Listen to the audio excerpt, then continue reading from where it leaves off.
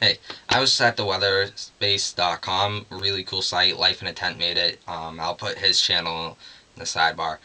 It's a really cool site where you can put up your YouTube videos, copy a link to your YouTube video onto there, and people will probably watch it. You can increase the views of your videos. And if Life in a Tent really likes your video, thinks it's funny, he'll feature it on the front page of the site, and that's kind of like free advertisement for your video.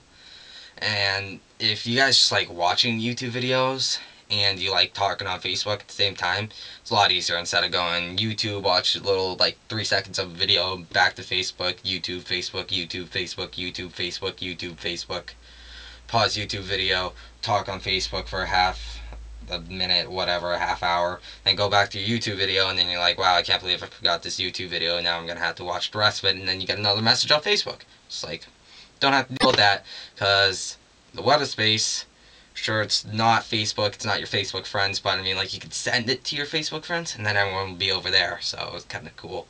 But you'll be talking on the weather space to one of your friends, be like, hey, what's going on, buddy? Well, you're watching a video at the same time, so it's sort of just like, find it a lot easier that way. So, you guys can just head on over there, it's really cool. Put Life in a Tent's channel right here my channel right here if you want to subscribe you can just hit the yellow button. I found that a lot easier. And I'll put my weather space page on there life in a tent's weather space page and um, life in a tent's YouTube page down there in the on the sidebar down there or maybe down below me. So I don't know. Let's go by check it out